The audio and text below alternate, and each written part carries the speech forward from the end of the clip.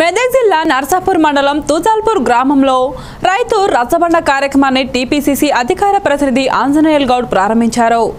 రైతు ప్రజా వ్యతిరేక విధానాలను అవలంబిస్తున్న టీఆర్ఎస్ బీజేపీ పార్టీలు ముమ్మాటికి రైతు ద్రోహ పార్టీలని ఆయన విమర్శించారు. తెలంగాణ రాష్ట్రంలో టీఆర్ఎస్ బీజేపీ ప్రభుత్వాల తీరుతో రైతులు ప్రజలు పూర్తిగా విసుగు చెందారని ఆరోపించారు.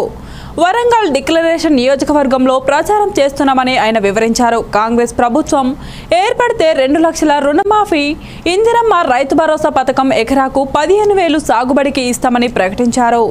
రైతు జీవితాలలో వెలుగులు నింపేందుకే రచ్చబండ అని టీపీసీసీ నాయకులు రవీందర్ రెడ్డి టీపీసీసీ కార్యదర్శి రాజిరెడ్డి చెప్పుకొచ్చారు. సమక్షంలో రేవంత్ రెడ్డి గారు రైతు డిక్లరేషన్ చదివి అందరికీ వినిపించడం జరిగింది.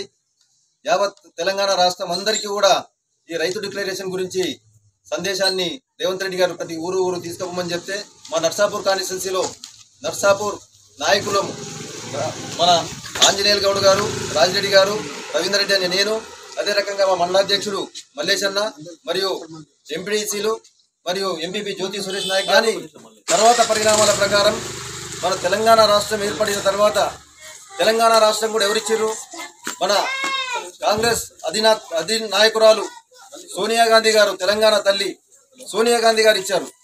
ఇచ్చిన తెలంగాణ కూడా అంటే ఎవరి కోసం ఇచ్చింది? మన రాష్ట్రంలో మేము ఈ తిజాల్పూర్ గ్రామానికి మా కాంగ్రెస్ పార్టీకి చాలా అనుబంధం ఉంది. మీరు ఓట్లు వేయండి వేయకూడదు. ధర్మం కోసం మేము తర్వాత మాకు ఇది అచ్చొచ్చిన ఊరు.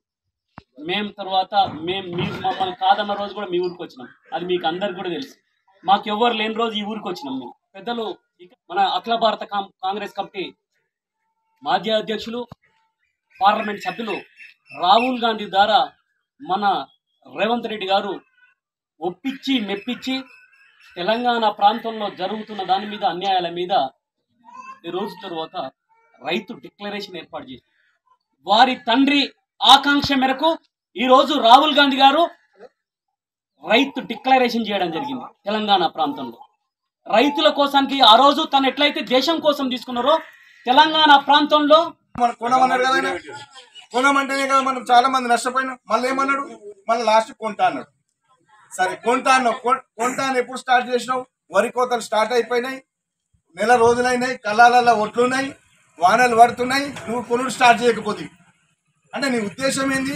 రైతులను రైతులు పండించిన ధాన్యాన్ని నేను మొదలు నేను వేసి